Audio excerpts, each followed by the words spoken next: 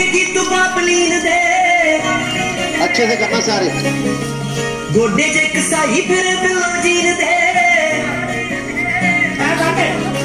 Shoot कौन हथ की तू बाप लीन दे गोडे च एक साई फिर बिल्ला जीन दे इन्हें चाची मोती तेरा सच्चा हो गया मियां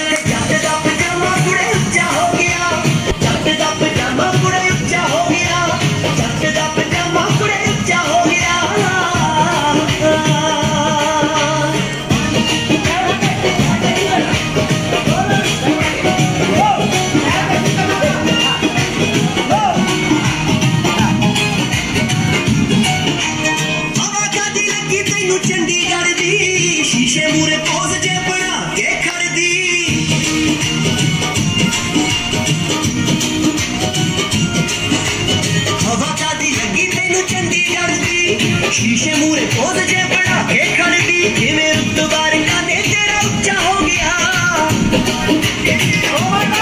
ਨੀਅਤ ਜੱਟ ਦਾ ਪਜਾਮਾ ਕੁੜੇ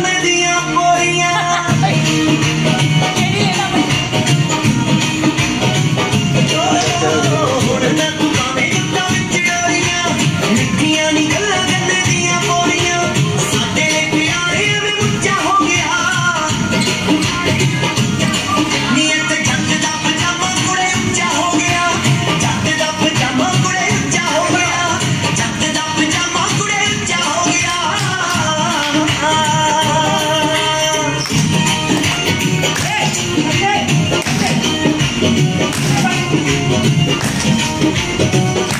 you.